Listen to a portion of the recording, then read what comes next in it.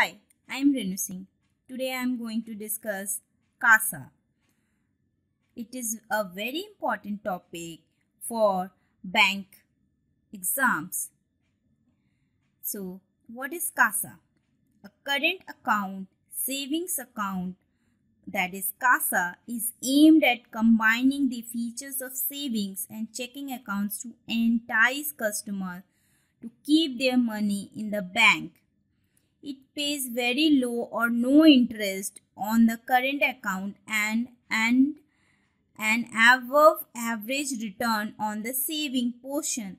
CASA is most commonly used in West and Southeast Asia, though CASA structure is available globally. Thank you.